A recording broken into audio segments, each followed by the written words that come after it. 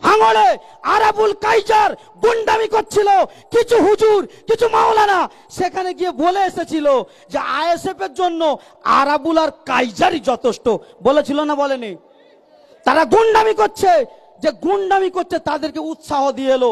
এর জন্য যতটা মাননীয় দায়ী, যতটা ওখানের ভিডিও পুলিশ দায়ী, তার সঙ্গে সঙ্গে কিছু হুজুর, কিছু মাওলানাও দায়ী। ঠিক না বেঠিক যাকে মমতা ব্যানার্জি বলেছিলেন, তুই বোম মারিস, গুন্ডা, ক্রিমিনাল ক্রিমিনালকে দল থেকে সরানো তো সরাবার কথা সরাইনি উপরন্ত তাকে ভাঙড়ে সংখ্যালঘু যেখানে বেশি, মুসলমান যেখানে বেশি, সেই গুন্ডাটাকে দায়িত্ব দিয়ে পাঠালো।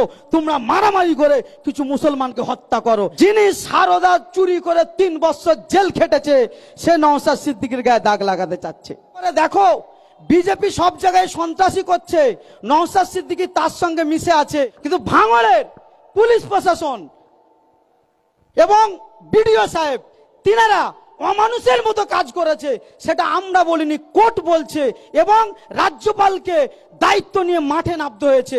এখানেই প্রমাণ হচ্ছে, এরা নিরপেক্ষভাবে কাজ করছে না। বিধায়ক থাকার পরেও মাননীয় নৌসাদ সিদ্দিকিকে কেন অ্যাটাক করছে বারবার? তার একটাই কথা, মমতা থেকে শুরু করে নিচের বুথ কর্মীগুলো এরা চুরি করতে ব্যস্ত। নওসাদ সিদ্দিকি যখনই বাধা দিচ্ছে তার জন্য তাকে আটক করছে। এটাই মূল কথা, আর অন্য কিছু নয়। আর নাসিরুদ্দিন মন্ডল ভাই বলছিলেন পুলিশ প্রশাসনদের কথা।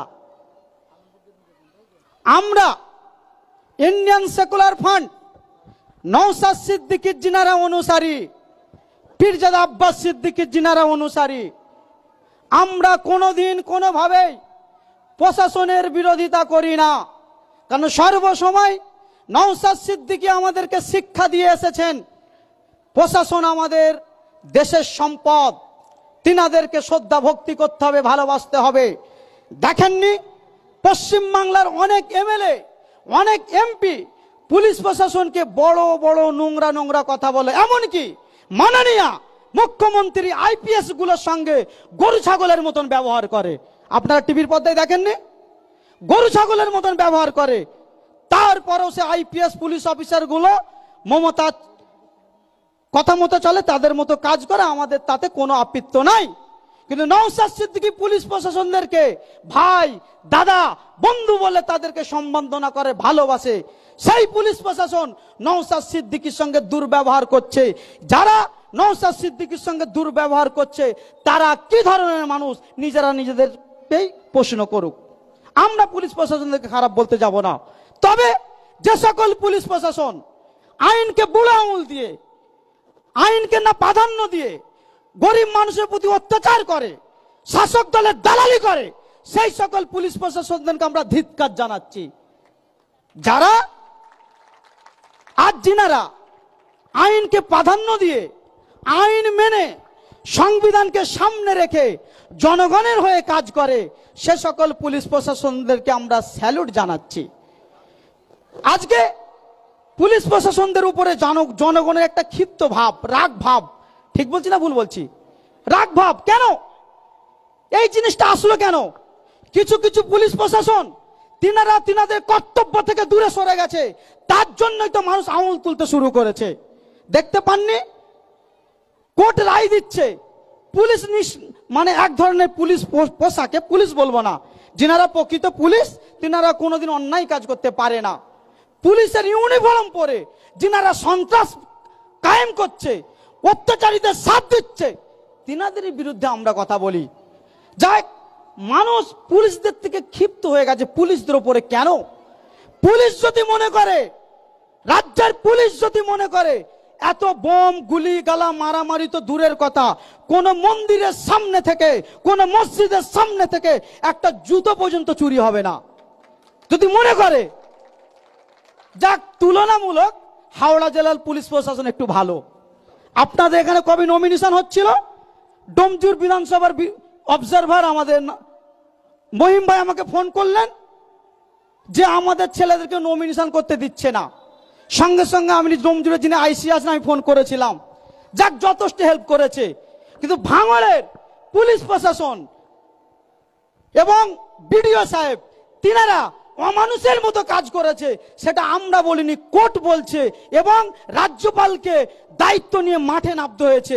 এখানেই প্রমাণ হচ্ছে এরা নিরপেক্ষভাবে কাজ করছে না। যাক, আমি একটা কথা এবার, মূল বক্তব্যে যেটা ফিরে যাই। আজকে আপনাদের আন্দুল জিপির মধ্যে তিনটে প্রার্থী আমাদের আইএসএফ এর পক্ষ থেকে দেওয়া হয়েছে। সাতচল্লিশ নম্বর বুথে হাবিবুর রহমান ভাই, চেনেন তো আপনারা? চেনেন তো, কথা বলবেন তো। আমি কর্মস্থানে শ্মশানে বসে কথা আলোচনা করছি, যে সেখানে মুর্দারা আছে।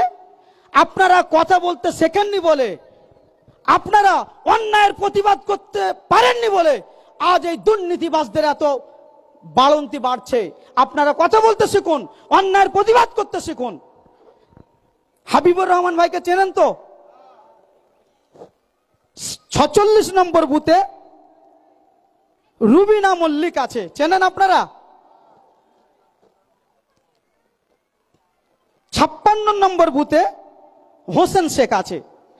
এবং আরও বুথে যে সকল প্রার্থীরা দাঁড়িয়েছে, যিনারা সমাজের হয়ে কাজ করবে, যিনারা মানুষের জন্য কাজ করবে, যিনারা গরিবের পাশে দাঁড়াবে, আপনাদের মনে হবে সেই সকল প্রার্থীগুলোকে আপনারা ভোট দিয়ে জেতাবেন। এই তিনটের পরেও কারণ আমি বলতে পারি না, ওনাকে জেতাও ওনাকে জেতাও ওনাকে জেতাও। এইভাবে আমি বলতে পারব না। কারোর দায়িত্ব আমি তো পুরোপুরি নিতে পারি না। তারপরেও দায়িত্বটা আপনাদের উপরে ছেড়ে দিলাম। আপনাদের টোটাল আন্দোলে পঞ্চায়েতের মধ্যে যেখানে যেখানে ভালো মানুষ দাঁড়িয়েছে, যিনাদের দ্বারা সমাজের কাজ হবে, আপনারা তিনাকে ভোট দিয়ে নির্বাচিত করে জেতাবেন। এটুকু আশা রাখলাম। সাথে সাথে আজকে মমতা ব্যানার্জি একটা জিনিস বলে বেড়াচ্ছে বারবার, পঞ্চায়েত উপলক্ষে যেহেতু কথাবার্তা, আমি পঞ্চায়েত নিয়ে আলোচনা করছি।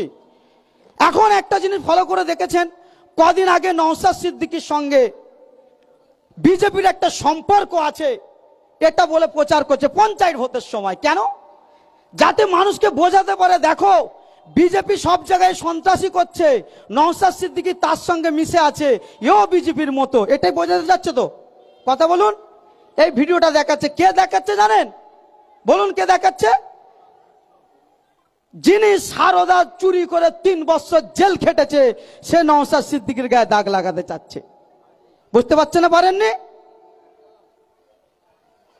ওম প্রকাশ কি? জয় প্রকাশ যে বিজেপিতে ছিল। বিজেপিতে থেকে মুসলমানদেরকে কত জঘন্য জঘন্য ভাষা বলেছে। সেই জয় জয় প্রকাশ যাকে লাথি মেরে কচু বনে ফেলে দিয়েছিল, জানেন তো? সেই জয় প্রকাশ তৃণমূলে এসেছে।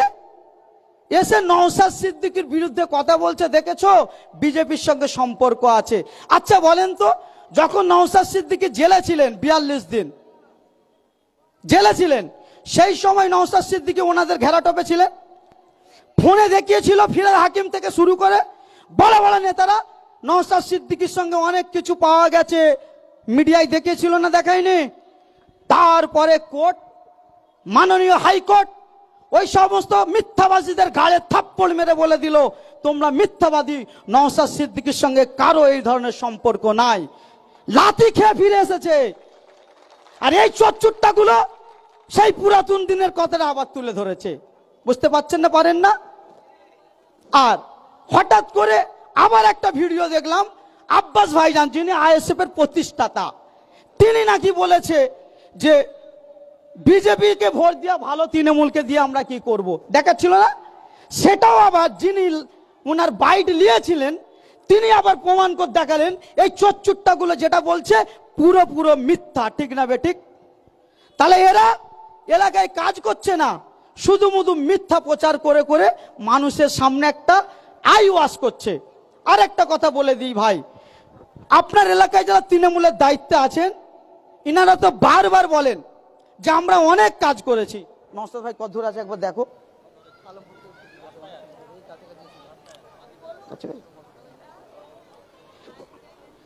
এরা বলছে দিদিমণি ষাটটা সত্তরটা আশিটা কুড়িটা প্রকল্প করেছে। তাই তো?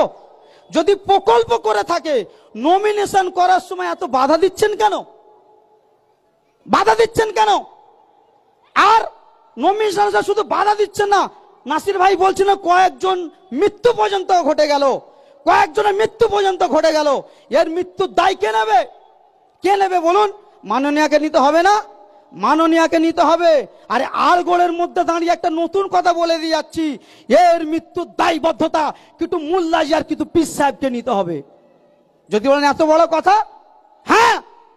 যে মানুষটা ভালো ক্রিকেট খেলে, তাকে যদি বলেন যে ম্যাচের মধ্যে আমার এই প্লেয়ার একাই যথেষ্ট, সে আরও উৎসাহিত হয়। ঠিক না বেঠিক ভাঙড়ে আরাবুল কাইজার গুন্ডামি করছিল। কিছু হুজুর, কিছু মাওলানা সেখানে গিয়ে বলে এসেছিল যে আইএসএফ এর জন্য আরাবুল আর কাইজারই যথেষ্ট। বলেছিল না বলেনি? তারা গুন্ডামি করছে। যে গুন্ডামি করছে তাদেরকে উৎসাহ দিয়ে এলো, এর জন্য যতটা মাননীয় দায়ী, যতটা ওখানের ভিডিও পুলিশ দায়ী, তার সঙ্গে সঙ্গে কিছু হুজুর, কিছু মাওলানাও দায়ী। ঠিক না বেঠিক খোলামেলা কথা? যাক, আমি আর কথা বাড়াচ্ছি না নৌসাদ ভাই চলে আসবে। একটা কথা বলে দিই ভাই। টোটাল পশ্চিমবাংলায় বিজেপির বিধায়ক আছে কটা জানেন? এদিকে তাকান এদিকে তাকান। মাথায় নিয়ে যান কথাগুলো। কটা বিধায়ক আছে জানেন? কটা? সত্তরটার মতো বিজেপির বিধায়ক আছে। সেই সব এলাকায় মমতা ব্যানার্জি এক্সট্রা করে কোনো অবজারভার দেননি। যে পার্টিটাকে চালানোর জন্য অবজারভার নেন, দেননি কিন্তু ভাঙড়ে নওসা সিদ্দিকির এলাকায় এক্সট্রা করে অবজারভার দিল কেন? কাকে আবার অবজারভার দিয়েছে? ভেবে দেখুন। যাকে মমতা ব্যানার্জি বলেছিলেন, তুই বোম মারিস, গুন্ডা ক্রিমিনাল ক্রিমিনালকে দল থেকে সরানো তো সরাবার কথা সরাইনি উপরন্ত তাকে ভাঙড়ে সংখ্যালঘু যেখানে বেশি, মুসলমান যেখানে বেশি, সেই গুন্ডাটাকে দায়িত্ব দিয়ে পাঠালো, তোমরা মারামারি করে কিছু মুসলমানকে হত্যা করো। এই পরিকল্পনাটা করেছিল। সেই কাজটাই ঘটিয়ে দিল। যাক, আমি আর কথা বাড়াচ্ছি না, এখানেই আমার কথা শেষ। একটা কথা, নাজিম ভাই অনেক কষ্ট করে সাঁকড়াইলটাকে সাজিয়েছে। আপনারা ওনার পাশে থাকবেন। আর যারা মারপিট করছেন ঝামেলা করছেন, অশান্তি করছেন, তৃণমূল কর্মী ভাইদেরকে বলছি, মিডিয়ার মাধ্যমে খবরটা ছড়াবে, যারা মারপিট করছেন, ঝামেলা করছেন, অশান্তি করছেন, তৃণমূলের হয়ে আপনি আপনার এমএলএ এর কথা শুনে আইএসএফ এর ছেলেদেরকে মারবেন? যারা তৃণমূলের গ্রামে আছে, কদিন আগে সেই বাঁকড়া ব্রিজের নিচে হলো না? যারা তৃণমূলের এমএলএ, এমপির কথা শুনে আইএসএফ এর ছেলেদেরকে বুতে মারবেন বুতে বোমের ভয় দেখাচ্ছেন, আপনারা ভেবে দেখেছেন? আপনার এমএলএ এর কথা শুনে আপনি আমাদের ছেলেকে মারছেন, মেরে কেস খাচ্ছেন। কেস খেয়ে আপনি কি করছেন? হাওড়া কোর্ট নাই থানায় হাজিরা দিচ্ছেন। যার কথা শুনে আপনি মানলেন ওই এমএলএ। তিনার ছেলেটা বিএমডব্লিউ গাড়ি নিয়ে ঘুরছে, বড় বড় ব্যবসা করছে। এটা মাথায় নেন। আর আপনি তো কেস খাচ্ছেন। কেস খাবার পরে আরাবুল কেস খেয়ে বসে আছে। আইনের হাত বড় লম্বা। মানে মাথায় রাখবেন। আজকে আপনি পালার মস্তান। পাড়ার গুন্ডা, আপনি আইএসএফ এর ছেলেদের উপরে অত্যাচার করছেন, আপনি কিন্তু কেস ফাঁসছেন। আপনি যখন ফেঁসে যাবেন, বিপদে পড়ে যাবেন। আপনার তৃণমূলের চারটে পদ নিয়ে বসেছিল। কে পার্থবাবু, তিনি যখন চুরি কেসে ফেঁসে গেল, মমতা ব্যানার্জি বলে দিল, পার্থ বুঝবে, পার্থর উকিল বুঝে নেবে। ওর পাশে যদি দল না থাকে, আপনি পাড়ার একটা চারানার নেতা। আপনি আমার ছেলের উপরে অত্যাচার করছেন, জুলুম করছেন, মারবেন বলছেন, আপনি যদি ফেঁসে যান, আপনার পাশে কাকে পাবেন? এতটুকুই কথা। আমাদের তিনটে প্রার্থী এই অঞ্চলে দাঁড়িয়েছে। আপনারা তিনাদেরকে সাহায্য করবেন। যদি ইনাদেরকে ভোট দিয়ে জিতান সব থেকে বড় একটা ফ্যাসিলিটি আপনারা পাবেন। কি ফ্যাসিলিটি এলাকার প্রার্থী, এখানে ছিল কোন একটা প্রার্থী ছিল যেন? আসলো কি? আচ্ছা কোন প্রার্থী আমাদের প্রার্থীকে যদি জেতান, এই এলাকার প্রার্থী কে আছে? নাম কি জানো আপনার এলাকার কে আছে এই হবিবুর রহমান। উনাকে আইএসএফ এর চিহ্নতে নওসাদ ভাইজানের কথা মতো আইএসএফ জিন্দাবাদ ইন্ডিয়ান সেকুলার ফ্রন্ট জিন্দাবাদ নওসাদ সিদ্দিকী জিন্দাবাদ আইএসএফ জিন্দাবাদ ইন্ডিয়ান সেকুলার ফ্রন্ট জিন্দাবাদ নওসাদ সিদ্দিকী জিন্দাবাদ নওসাদ ভাইজান, আপনাই জানাই স্বাগতম।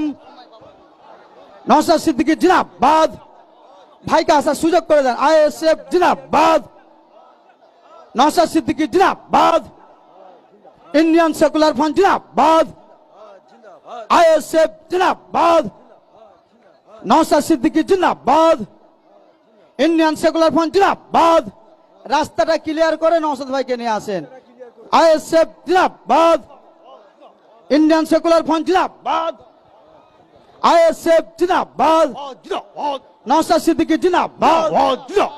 ভাঙড়ের বিধায়ক নওসাদ সিদ্দিকী, জিন্দাবাদ। গরিবের কণ্ঠ নওসাদ সিদ্দিকী, জিন্দাবাদ।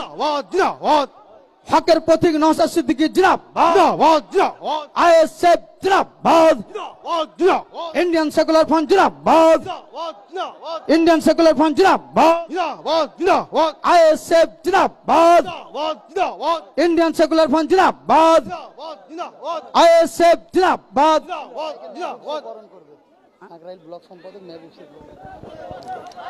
ভাই সাইড দেন ভাইকে উঠার সুযোগ করে দেন। সময় খুবই সংক্ষেপ। সময় খুবই সংক্ষেপ। এখন ভাঙড়ের